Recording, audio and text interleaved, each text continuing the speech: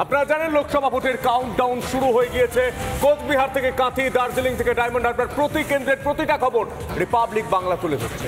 তার চুল চেরা বিশ্লেষণ করছে রিপাবলিক বাংলা। মানুষ যে বিষয় নিয়ে কথা বলছে, তা নিয়ে তর্ক বিতর্ক বিশ্লেষণ করছে রিপাবলিক বাংলা এবং মানুষের কণ্ঠস্বরে প্রশ্ন করছে বুক চিটিয়ে চোখের চোখ রেখে। একদমই তাই। আর শুধু তাই, সন্তু, দেখো, সকাল থেকে তো একবারে চায়ের কাপেও ঝড় উঠতে শুরু করে দিয়েছে। আর বাংলাতে ভোট শুধু নয়, গোটা দেশ এই মুহূর্তে কার্যত এই ভোটটাকে নিয়েই আলোচনাতে রয়েছেন, চর্চায় রয়েছেন। সকাল সকাল সেই চর্চা থাকবে, প্রচার থাকবে এবং একই সঙ্গে থাকবে এই স্টুডিও থেকে মূলত তর্ক, বিতর্ক, যুক্তি, পাল্টা যুক্তি।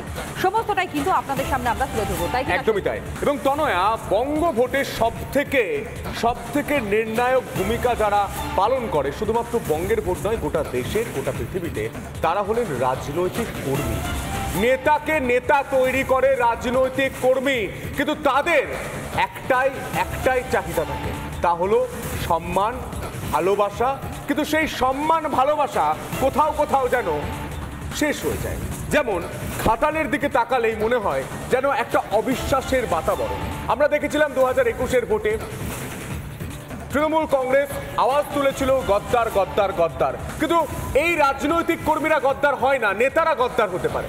সেই রাজনৈতিক কর্মীদের দিকেই কার্যত দীপক অধিকারী প্রথম তোপটা দেখে একদমই, অর্থাৎ ঘাটালের তৃণমূল কংগ্রেসের তারকা প্রার্থী দেব এবং তিনি মূলত যখন কর্মী সভায় বক্তব্য রাখছেন, ঠিক বক্তব্য রাখতে গিয়ে এমন একটা কথা তিনি বলে ফেললেন যে মূলত তৃণমূলকে নাকি তৃণমূলই হারাতে পারে, অন্য কেউ নয়। বক্তব্যের পরেই কার্যত ঝড় উঠেছে। শোনাই সেই বক্তব্য। আমার মনে হয় যে তৃণমূলকে অন্য কোনো দল হারাতে পারবে না। তৃণমূলকে হারাতে পারে শুধুমাত্র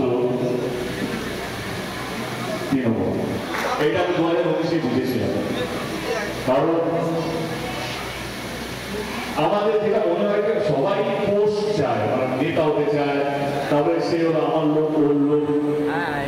এবং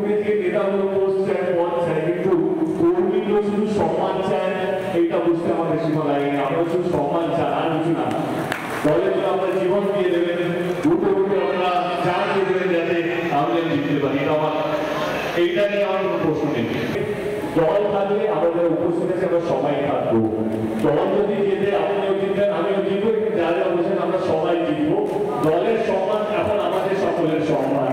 যে কোনো লিডকে পে করতে পারে, যদি আমরা সবাই মিলে আমাদের রাগ, অভিমান সব ভুলে গিয়ে শুধু দলকে নিয়ে ভাবি এবং দলকে জেতানো নিয়ে ভাবি আমার মনে হয় যে দুর্দান্ত লিড হবে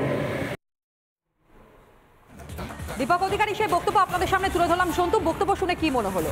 কর্মী সমর্থকদের উজ্জীবিত করবার চেষ্টা করলেন নাকি কাঠগড়ায় দাঁড় দুবারের সাংসদ দেব সেই জায়গায় দাঁড়িয়ে দেব দেব হয়ে উঠেছে। প্রত্যেক নেতায় নেতা হয়ে ওঠে কর্মী শক্তিতে।